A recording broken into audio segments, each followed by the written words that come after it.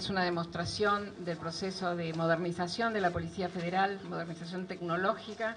que estamos intentando, entregando los insumos más modernos, como ustedes ven la fidelidad de estas cámaras es muy llamativa, el alcance de los zoom, que es de una importantísima cantidad de, metros, y bueno, sin perder fidelidad a la imagen, de manera que bueno, son herramientas eh, realmente muy importantes para poder ser eficientes en la persecución de delincuentes y por supuesto también en lo que buscamos como objetivo fundamental, que es darle seguridad a todos los ciudadanos.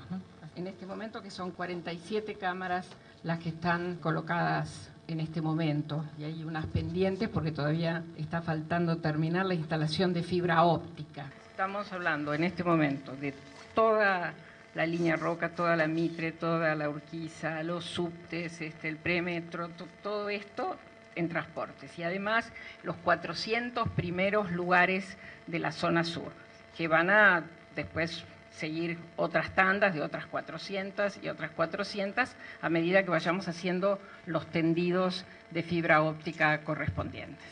Al, al detectar un ilícito se avisa al sector, a la patrulla, al personal que está más cercano para que se acerquen al, lugar y puedan concretar, ¿no es cierto?, conjurar el delito, detener eventualmente al delincuente, en fin, lograr el cese de, de la situación, ¿no? Esto, por supuesto, no es solo para hechos delictivos, también pueden darse situaciones de accidentes o personas que tienen algún tipo de problema de salud. Y bueno, esto permite también detectarla rápidamente el, problema y llamar a la, ambulancia o a los bomberos o al sector que corresponda según el tipo de problema que se esté visualizando. Esto además queda grabado, de manera que se puede después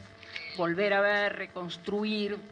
servir como prueba, eventualmente, por supuesto, en las causas judiciales. Esta, la instalación de estas cámaras, ustedes saben que uno de los efectos comprobados, además comprobados en, experiencias internacionales, este, es el efecto disuasivo que tienen ahí. El, el delincuente sabe que va a ser filmado, que eso va a quedar como prueba, que por más que después haga el amago de tirar la cosa que prueba el delito, bueno, lo anterior está filmado, de manera que este, el primer efecto es el disuasivo, ¿no? y ese, por supuesto, este sistema lo logra plenamente.